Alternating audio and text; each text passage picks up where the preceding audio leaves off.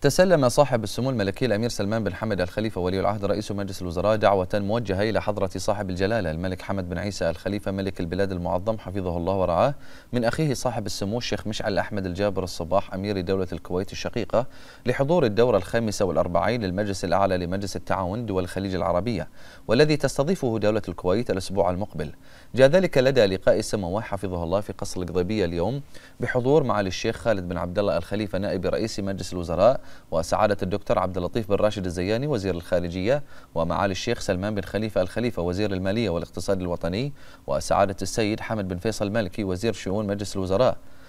لدى لقاء سموه معالي السيد عبد الله علي عبد الله اليحيى مبعوث سمو أمير دولة الكويت وزير الخارجية حيث أكد سموه على ما يجمع مملكة البحرين ودولة الكويت من روابط أخوية وثيقة ممتدة عبر التاريخ. مشيرا إلى دور الكويت الشقيقة في تعزيز مسارات العمل الخليجي المشترك نحو آفاق أرحب بما يحقق التطلعات. معربا سموه عن تمنيات مملكة البحرين للدورة الخامسة والأربعين للمجلس الأعلى لمجلس التعاون لدول الخليج العربية كل التوفيق والنجاح واستمرار البناء على ما تحقق من منجزات بين دول المجلس في شتى المجالات. لما فيه خير وصالح الجميع. من جانبه أعرب مبعوث سمو أمير دولة الكويت وزير الخارجية عن شكره وتقديره لصاحب السمو الملكي ولي العهد رئيس مجلس الوزراء لما يوليه سموه من حرص على تعزيز التعاون الخليجي المشترك